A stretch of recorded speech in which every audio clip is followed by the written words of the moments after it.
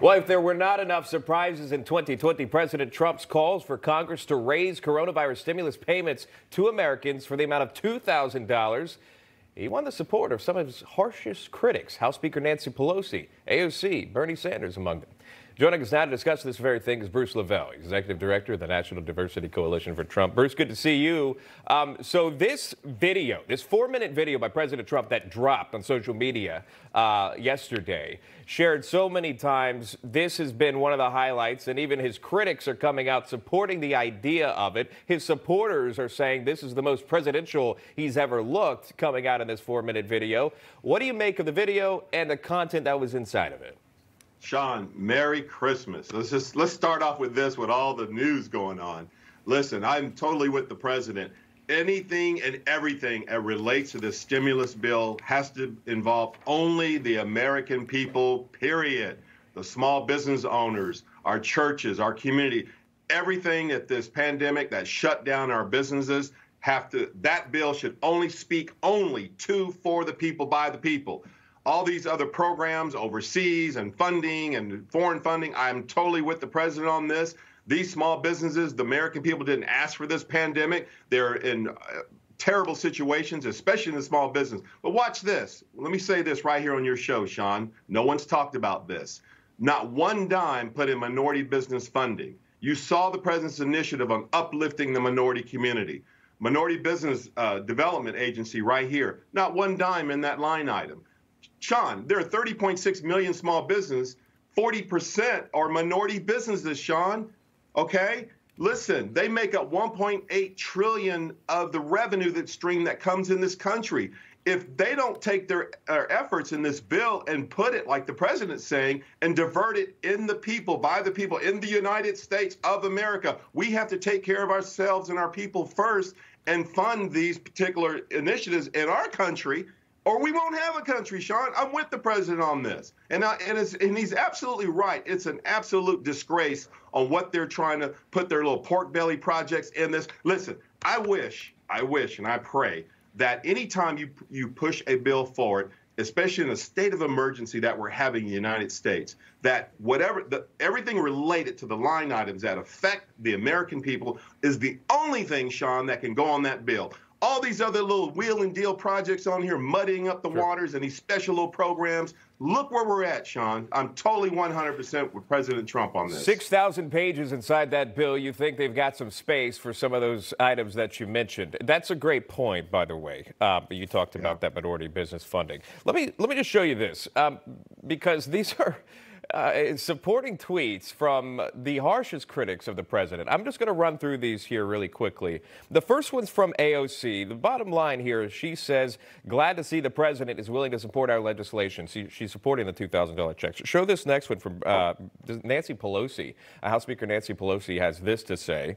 Um, just in a, in a quick nutshell there, one of the things that stand out, at last the president has agreed to $2,000. Um, so again, she's supporting it. Then you've got Bernie Sanders that comes out. So again, the harshest critics of the president, including the two we showed you. Here's Bernie Sanders. He says that's great. So again, pushing forward on this. But bottom line is, what's the strategy here by the Democrats, Bruce? How, how do you read this? Because they have been pushing back. As you see, Lindsey Graham there is saying basically um, the COVID 19 package, while imperfect, will save jobs and lives. The sooner the bill becomes law, the better. So then you've got Republicans saying, no, no, no, go ahead and sign it. Democrats are saying, hey, no, we support what the, the president is doing. How do you read this on a political landscape? Well, it gets back to the American people and the viewers here on Newsmax. Go look at the actual line items on what they're proposing in terms of funding. Now, watch this.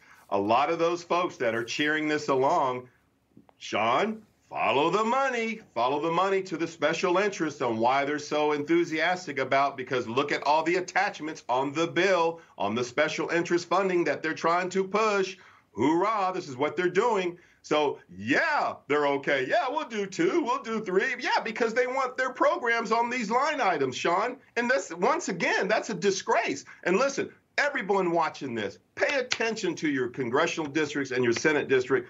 Y'all get out there in America and get involved and pay attention to every time they send these bills up and watch, follow the special interest that's tied to these bills. This is what's killing our great country. We have got to stop this. This is really what's killing us right here, Sean. So whatever is on that the the state of the emergency of the country is the only thing that should be on that bill that relates to the American people, not all these foreign gigs and all these other special interest money that they're trying to fund and money over here. We're in a state of emergency. That's all we need to be talking about right now, Sean. Sure, but here's here's the. I get emotional about this. No, I, well, hey, look, you're talking about money, and a lot of folks get emotional about their money because that's their livelihood, right? And we understand that for sure. We're talking about jobs as well. But here's the thing with this, Bruce is there a lot of folks are saying, hey, look, 600 bucks, that's not enough. These folks have been out of work. They can barely pay their bills right now. $600 is not going to cut it uh, when you told me I can't work anymore. But then there's the other side where this would support the unemployment benefit. This would support the PPP loans um, and, and other folks that definitely need it. Some say, look, go ahead and sign it. Maybe try to get more checks later on, but go ahead and get this done because yeah. the sooner the better. Where do you yeah. stand on that? Because it is a hard balance. Yeah. Let, let me let me push a little stronger here. Being a small business owner in Atlanta for over 27 years, John, I've said this before. I'm one of 30.6 million small businesses. We make up 64 plus percent of the GDP, Sean. We pay the payroll quarterly taxes. Listen, everything we're discussing right now is about the payroll taxes. All the businesses on the backs, we're the agents of the IRS. That's what we call it, where we send our payroll taxes up to DC to where all these discussions are going on right now.